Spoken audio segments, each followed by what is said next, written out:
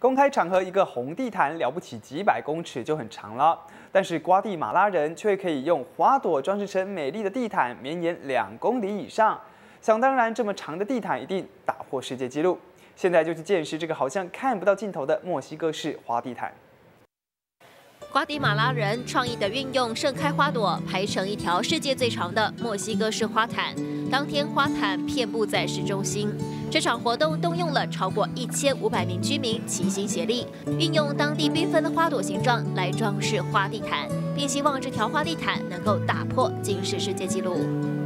在瓜地马拉遭逢毒品泛滥以及犯罪蔓延的当下，大片大片的花地毯让人有种新的希望。Oh, sí, es un gran orgullo para Guatemala y para el mundo, porque ¿cuántos no desearían tener una alfombra así para el mundo. Es muy hermosa.